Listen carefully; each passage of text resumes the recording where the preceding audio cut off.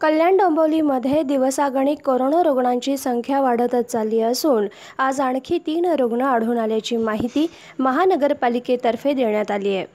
धक्कादायक बाब म्हणजे या तीन रुग्णांमध्ये एक सहा महिन्याच्या चिमुरडीचाही समावेश असल्यामुळं परिसरात चिंतेची लाट पसरली आहे.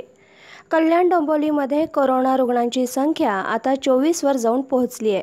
त्यामुळं कल्याण डोंबिवली परिसरात वाढत्या रुग्णांची संख्या लक्षात घेता नागरिकांबरोबरच आरोग्य आणि शासकीय यंत्रणाची झोप उडाली आहे.